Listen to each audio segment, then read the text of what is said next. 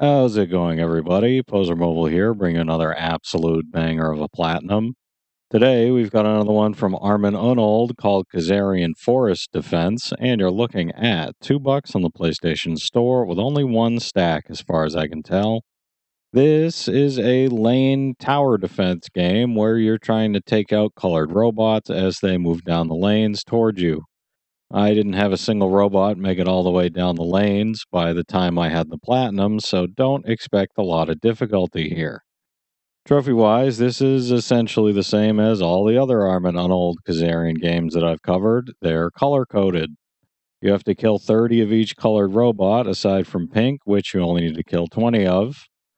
The robots are cumulative, so just keep taking them out until you've got the platinum. Going in completely blind, this took me just under five minutes to finish, so with a little luck with your colors, you should absolutely be able to finish this in under five minutes, no problem. That'll do it for me, though, everybody. Super simple, easy, cheap, fast platinum today. If you enjoyed today's video, be sure to leave a like, comment down below which number platinum this was for you, and subscribe to the channel for more trophy hunting content. This was number 951 for me. You